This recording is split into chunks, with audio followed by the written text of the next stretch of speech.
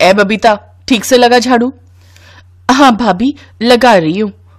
जल्दी कर और सुन, इसके बाद पोछा भी अच्छे से लगाना कोने कोने में। हाँ जी हाँ जी, कर दूँगी पोछा भी। चल चल, जल्दी कर।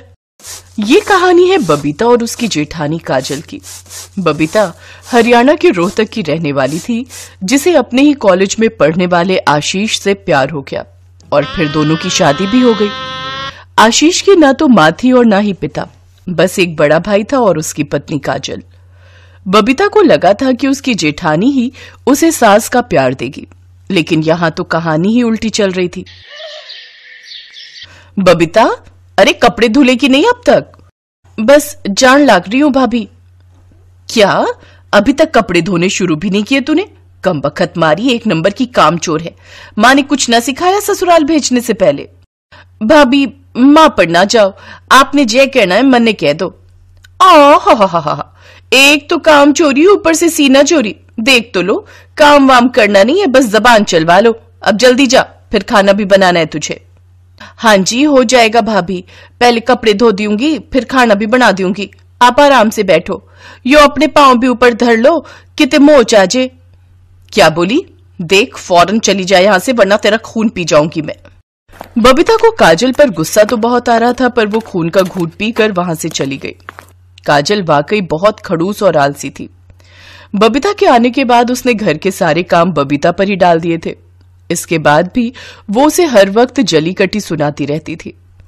फिर एक शाम, लो भाभी चा पी लो। क्यों? आ गई ना कल ठिकाने।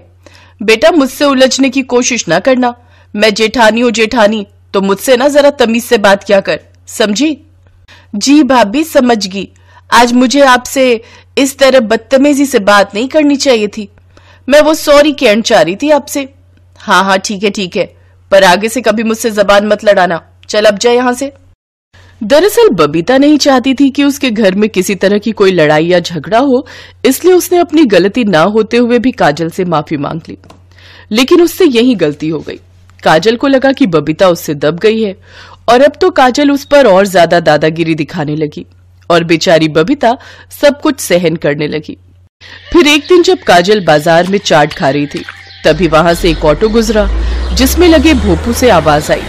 सुनो सुनो सुनो, विधायक जी की तरफ़ से आपके शहर कुश्ती का आज तक का सबसे बड़ा कंपटीशन होने जा रहा है। और सबसे खास बात, ये कंपटीशन सिर्फ़ महिला पहलवानों के लिए है। तो बहनों, भाभीियों, हो जाओ तैयार। जीतने वाली को मिलेंगे पूरे पच्चीस हज़ार। सुनो सुनो सुनो। ये ऐलान सुनते ही काजल का मुँह खुला का खुला रह गया। ऑटो में से फेंके गए पर्चों में से उसने झट से एक पर्चा उठा लिया, फिर सीधा अपने घर आ गई। उसने वही पर्चा चारपाई पर रखा और कपड़े बदलने चली गई। तभी वहाँ सफ़ाई कर रही बबीता की नज़र उस पर्चे पर पड़ गई। वो पर्चा पढ़ ही रही थी कि तभी उसे काजल के आने की आवाज़ आई और वो फिर से झाड़ू लगाने की एक्टिंग करने लगी। हाँ ये इनाम तो मैं ही जीतूँगी। एक बार ये पैसे मुझे मिल जाएँ तो मैं चांदी की नई पायलें बनवाऊँगी नई नई साड़ियाँ खरीदूँगी, रोज बैठकर आराम से अंगूर खाऊँगी, कसम से। ज़िंदगी में होंगे मज़े ही मज़े। इतना कहते ही काजल बरामदे में गई और उठक बैठक करने लगी। और इसी तरह पूरा हफ़्ता बीत गया और फिर प्रतियोगिता का दिन भी आ गया। काजल अपनी फाइट से एक घंटा पहले ही प्रतियोगिता वाली जगह पहुँच गई। उसने देखा कि वहाँ एक फाइट पहले से चल रही थी। एक लड़की दूसरी लड़की को उठा उठा कर पटक रही थी। ये मंजर देखकर वहाँ मौजूद हर आदमी का मुँह खुला का खुला रह गया। और फिर रेफरी ने उसका हाथ उठाकर उसे विजयी घोषित किया। जब वो लड़की घूमी तो काजल उसका चेहरा देखकर हैरान रह गई। वो बबीता थी। बबीता की फाइट स्किल देखकर काजल का गला सूख गया और फिर बबीता काजल को देखकर उसके पास आई। अरे भाभी, आप यहाँ हो? अच्छा आप ना ज़रूर मेरा हौसला बढ़ाने आए हो। देखो भाभी, मैंने इसका क्या हाल काट दिया, पर चिंता ना करो। बस मेरी आज एक और फाइट है। पता नहीं कौन आवेगी। खैर, जो भी आवेगी, मैं उसकी हड्डियाँ तोड़कर ही घर जाऊँगी और टेम से पहले ही सारे काम भी निपटा दूँगी। इतना कहकर बबीता रिंग में वापस चली गई और अगली फाइट का इंतज़ार करने लगी। मगर अगली फाइट होती कैसे? उस फाइट में काजल को जो लड़ना था, वो भी बबीता के साथ। सब काजल को ढूंढ रहे थे, लेकिन काजल तो वहाँ से नौ दो ग्यारह हो चुकी थी। भाभी, ओ भाभी, देखो मैं आ गई। बबीता, तुम मतलब आप क्या हुआ उस दूसरी फाइट का? अरे, वो तो आई को नया लगता है उसने मेरी पहली फाइट देख ली होगी। हाँ हाँ। आप खड़ी क्यों हो? बैठो ना, मैं आपके लिए चाय बना कर लाती हूँ। हाँ हाँ भाभी। और सुनो, जरा मीठा तेज रखना। और बस, यहाँ से सब बदल गया। काजल की दादागिरी खत्म हुई। लेकिन बबीता कभी उस पर हावी नहीं हुई और अब दोनों मिलकर अपना घर अच्छे से संभालने लगी।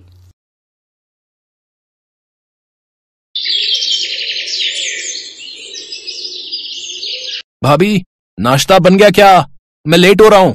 हाँ हाँ हो गया। लो आलू के पराठे बनाए हैं आज। क्या बात है मज़ा ही आ जाएगा फिर तो। जी करता है कि सारे काम छोड़ू और आराम से बैठकर बस ये पराठे ही खाता रहूँ। तू भी ना चल अब जल्दी कर।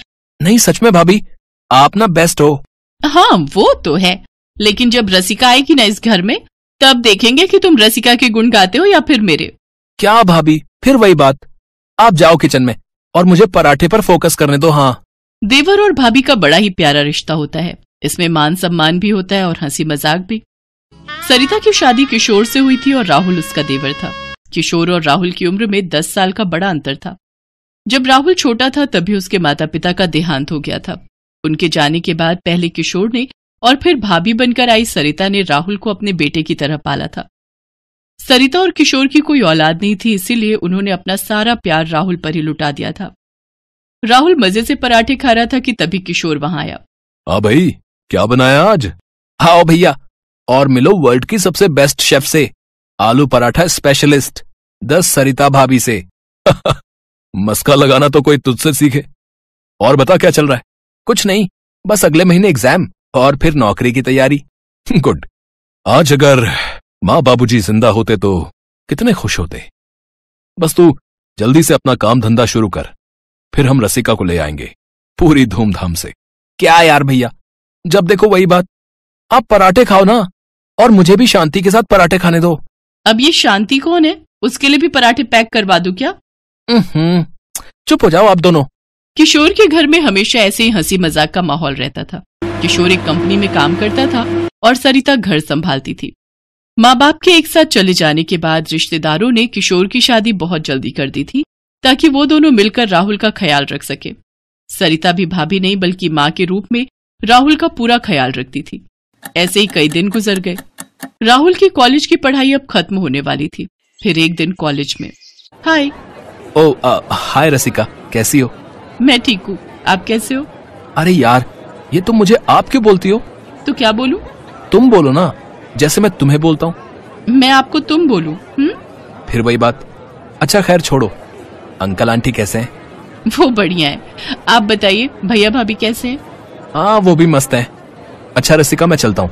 मुझे दोस्तों के साथ फ़िल्म देखने जाना है। तो मैं आ, लेट हो रहा हूँ। ठीक है बाद में मिलते हैं ओके? बाय। बाय रसिका चाहती थी कि राहुल उसे भी अपने साथ फ़िल्म देखने ले जाए, लेकिन राहुल रसिका से हर वक्त कन्नी ही काटता रहता था। रसिका वहाँ से दुखी होकर घर की तरफ़ चल पड़ी। दरअसल राहुल और रसिका के पिता बहुत अच्छे दोस्त हुआ करते थे। उन दोनों ने बचपन में ही रसिका और राहुल की शादी तय कर दी थी। पर शादी से पहले ही राहुल के माता पिता का देहांत हो गया। लेकिन किशोर और सरिता दिल से चाहते थे कि रसिका ही उनके घर की बहू बनकर आए। इसीलिए वो रसिका का नाम लेकर राहुल को छेड़ते रहते थे। रसिका भी राहुल को ही अपना पति मान चुकी थी। वो कभी कभार जानबूझकर राहुल से मिलने के लिए सज धज कर तैयार होकर कॉलेज आती थी। उससे बात करने की कोशिश करती थी लेकिन राहुल उससे बचता फिरता था। लेकिन अब जब दोनों बड़े हो गए थे तो शादी की बात भी चलने लगी। आओ आओ किशोर बेटा कैसे हो? अब नमस्ते आंटी जी। मैं ठीक हूँ। नमस्ते आंटी जी। आप कैसी हैं? मैं भी ठीक हूँ। रसिका! ओ रसिका, जल्दी आओ, देखो तुम्हारे जेठ जेठानी आए हैं। अपनी माँ की आवाज़ सुनकर रसिका फूली नहीं समाई। वो जल्दी से सिर पर पल्लू रखकर बाहर आई और आकर उसने किशोर और सरिता के पैर छुए। हालाँकि उसकी नज़रें किसी को ढूंढ रही थी। क्या हुआ रसिका, किसे ढूंढ रही हो? जी जी किसी को नहीं, मैं मैं चाय लाती हूँ। रसिका की बात सुनकर वहाँ सभी लोग मुस्कुरा दिए। तभी किशोर ने कहा, आंटी, अब वक्त आ गया है, हमें जल्दी से अपनी जिम्मेदारियाँ निभा देनी चाहिए।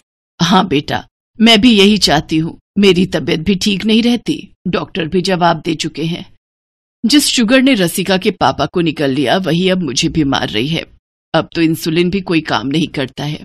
हिम्मत रखिए आंटी जी, सब ठीक हो जाएगा। हाँ बेटी, बस रसिका तुम्हारे घर चली जाए, उसके बाद तो भगवान मुझे कभी भी उठा ले, कोई दुख नहीं।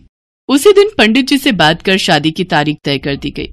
ये देखकर रसिका की खुशी का ठिकाना नहीं था लेकिन घर आकर जैसे ये बात किशोर ने राहुल को बताई तो वो बहुत नाराज़ हो गया और गुस्से से बोला भैया भाभी मुझे रसिका से शादी नहीं करनी है। ये क्या बोल रहा राहुल? पर माँ बाबूजी की यही इच्छा और मेरी इच्छा का क्या? मुझे रसिका पसंद नहीं है साफ़ बात ये है। क्या बुराई है उसमें? सुंदर है संस्कारी है और आप समझ नहीं रही हो भाभी वो सीधी साधी बहन जी टाइप लड़की है हमारी नहीं जमेगी। देख राहुल तेरी शादी तो रसिका से ही होगी वरना याद रखना वो वसीयत वाली बात। वसीयत का नाम सुनते ही राहुल चुप हो गया। उसे झुकना पड़ा और कुछ दिन बाद राहुल और रसिका की शादी रसिका बहुत खुश थी। वो घर के कामों में सरिता का पूरा हाथ बटाती और किशोर की भी बहुत इज़्ज़त करती थी। लेकिन दूसरी तरफ़ राहुल अब बहुत चुपचाप रहने लगा था। साफ़ पता चल रहा था कि वो इस शादी से खुश नहीं है। फिर एक दिन डाइनिंग टेबल पर राहुल वो वकील साहब आएँगे शाम को। तुम्हारे साइन चाहिए? उन्हें तीन चार कागजों पर। अब ठीक है भैया, मैं कर दूँगा। अभी ऑफ़िस जा रहा हूँ। दरअसल किशोर और राहुल के पिता शंभुनाथ एक वसीयत छोड़ गए थे। उसके मुताबिक राहुल को उनकी जायदाद का आधा हिस्सा उसी दिन मिलेगा, जब वो रसिका से शादी करेगा। रसिका से शादी के बाद किशोर ने उसी दस्तावेज़ के बारे में राहुल से बात की थी। शाम को वकील आया और उसने राहुल से पेपर्स पर साइन भी करवा लिए। अब शंभुनाथ की आधी जायदाद का मालिक राहुल बन चुका था। कुछ दिन बाद एक सुबह जब सब लोग उठे तो रसिका के तेज तेज रोने की आवाज़ सुनाई थी उसके हाथ में एक चिट्ठी थी, जो राहुल उसके लिए छोड़कर कहीं चला गया था। उस चिट्ठी में राहुल ने लिखा था कि वो रसिका से शादी करने से पहले एक दूसरी लड़की से शादी कर चुका था, जो पहले से ही उसकी गर्लफ्रेंड थी। और उसने सिर्फ़ अपने पिता की जायदाद पाने के लिए रसिका से शादी की थी और अब वो अपना सारा हिस्सा लेकर अपनी पहली पत्नी को साथ लेकर विदेश जा रहा था। किशोर ने फ़ौरन राहुल को फ़ोन किया, मगर राहुल ने उसका फ़ोन नहीं उठाया। उल्टा ये मैसेज कर दिया कि अब से उसका ना तो रसिका से कोई रिश्ता है और ना ही किशोर और सरिता से। आह, ये क्या किया राहुल? ऐसा कैसे कर दिया तूने? ज़रूर हमारी ही परवरिश में कोई कमी रह गई होगी वरना वो कभी ऐसा नहीं करता। नहीं भाभी आप अपने आप को मत कोसो। मेरी किस्मत खराब है जो मेरे आते ही ये घर टूट गया। रोती बिलकती रसिका को किशोर और सरिता ने सहारा दिया। राहुल के धोखे की बात रसिका की माँ बर्दाश्त नहीं कर पाई और वो भी चल बसी। इस बात को कई महीने गुजर गए। अब तो राहुल ने विदेश में जाकर अपना नंबर भी बदल लिया। इधर रसिका ने भी एक ऑफ़िस में नौकरी शुरू कर दी। धीरे धीरे पूरा साल गुजर गया, लेकिन राहुल लौट कर नहीं आया। किशोर और सरिता समझ गए थे कि अब राहुल कभी नहीं लौटेगा। फिर एक शाम जब रसिका अपने ऑफ़िस से लौटी तो वो हैरान रह गई। किशोर और सरिता उसके कलीग हरीश के साथ बैठे थे। हरीश आप हाँ रसिका। हरीश को हमने ही बुलाया है। रसिका हरीश से हमारी फ़ोन पर बात हुई थी। ये तुम्हें पसंद करते हैं और तुमसे शादी करना चाहते हैं। पर भाभी ये ये नहीं हो सकता। क्यों नहीं हो सकता? जब राहुल अपनी ज़िंदगी में आगे बढ़ गया तो तुम कब तक उसके इंतज़ार में बैठी रहोगी? मैं सिर्फ़ भाभी नहीं हूँ तुम्हारी। आंटी के जाने के बाद अब मैं तुम्हारी माँ भी हूँ। और मुझे हक है तुम्हारा अच्छा बुरा सोचने का। तुम बस इतना बताओ कि हरीश तुम्हें पसंद है या नहीं। भाभी, रसिका कोई जवाब तो नहीं दे सकी, लेकिन उसके आँसू उसके दिल का हाल बयां कर रहे थे। उसकी भावनाओं को सरिता ने समझ लिया और फिर, रसिका, भले इस घर में तुम मेरी देवरानी बनकर आई थी, लेकिन अब तुम मेरी बेटी हो। राहुल के किए की सजा मैं तुम्हें नहीं भुगतने दूँगी। तुम्हारी शादी हरीश से होगी। मैं और तुम्हारे भैया इस बार तुम्हारा कन्यादान करेंगे। और हाँ हमेशा एक बात याद रखना तुम्हारा इस घर के साथ नाता कभी नहीं टूटेगा। ये घर हमेशा तुम्हारा मायका रहेगा। इतना कहकर सरिता ने रसिका को गले से लगा लिया। रसिका रोई जा रही थी। लेकिन उसे यह विश्वास भी हो गया था कि अब इसके बाद उसे रोना नहीं पड़ेगा, क्योंकि ना तो वो अनाथ थी